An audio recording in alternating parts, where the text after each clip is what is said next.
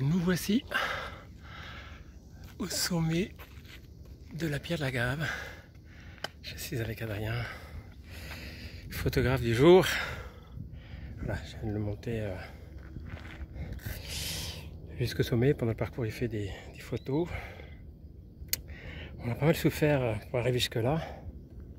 On a mis une 37 en s'arrêtant. Mais en partant du parc en bas. Euh, on a eu 20 minutes à partir du métro. Voilà.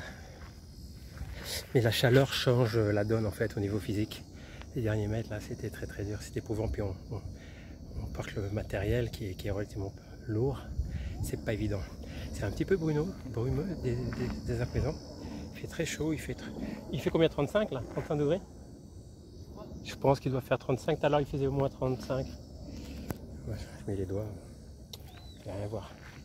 Donc, euh, quand on bouge pas, c'est pas trop, trop, trop grave, mais avec une activité physique et en plus, avec déjà pratiquement plus d'une heure et demie de, dans les jambes, que du dénivelé, c'est assez coriace. En fait, tout le monde ne monte pas. Ici, tout le monde peut monter, mais ça va dépendre un petit peu des qualités de chacun, intrinsèque.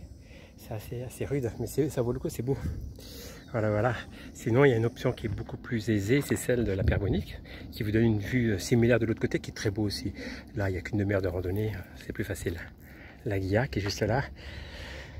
Pic du papagaï, Mirim, tout ça, Conde, la partie A. Et les sous-marées à 1000 mètres et euh, le Corcovado.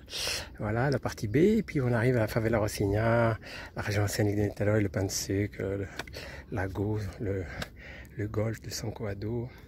Voilà, voilà. Je vous dis à bientôt sur ce visuel magnifico.